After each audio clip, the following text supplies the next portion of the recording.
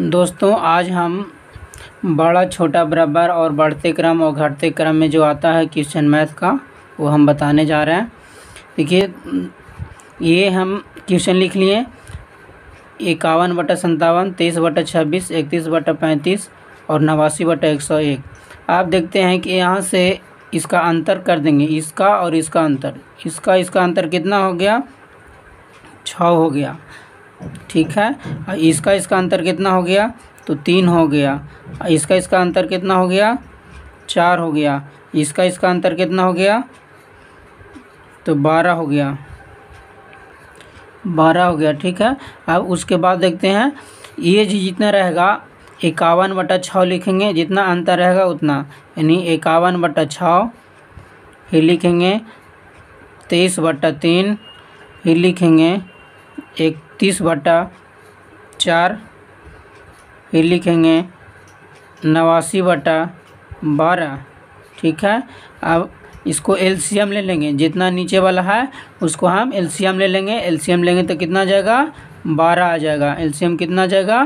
बारह, ठीक है? और जो एलसीएम है उससे हम गुना कर देंगे ऊपर में तो कितना हो जाएगा? इक्यावन बटा छः गुने बारह फिर क्या है तेईस बट्टा तीन गुने बारह, फिर क्या है इकतीस बटा चार गुने बारह, फिर है नवासी बटा बारह गुने बारह। ये बारह से बारह कट गया, चार से कट गया, चार तीन बारह, तीन से कट गया, तीन चंका बारह छः से कट गया छः दुना बारह। इसका मल्टीप्लाई करेंगे तो कितना आ जाएगा?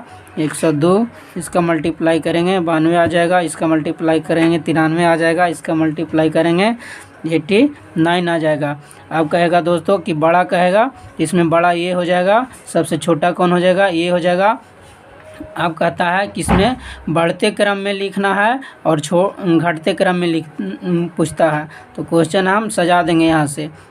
तो बड़ा घटते क्रम में लिखेंगे तो वन मैंने एक सौ दो लिखेंगे, फिर कितना है? एक तिरानवे लिखेंगे, फिर क्या है? बानवे लिखेंगे, फिर एटी नाइन लिखेंगे। ये घटते क्रम में आ गया।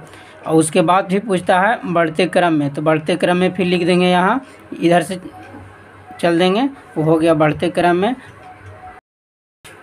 अगला क्वेश्चन लेते हैं, इसका इसका अंतर दो हो गया, इसका इसका अंतर दो हो गया, इसका इसका अंतर दो हो गया, इसका इसका अंतर दो हो गया।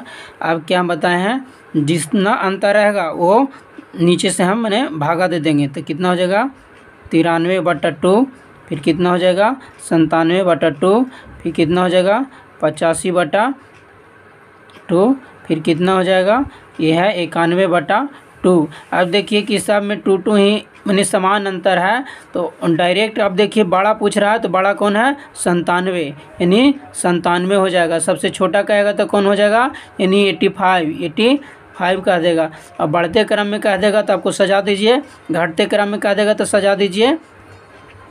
बस इतना ही, इससे क्वेश्चन आता है। थैंक यू दोस्त, अगर अच्छा लगा तो लाइक और सब्सक्राइब और शेयर ज़रूर करें कमेंट साथ में करें। Thank you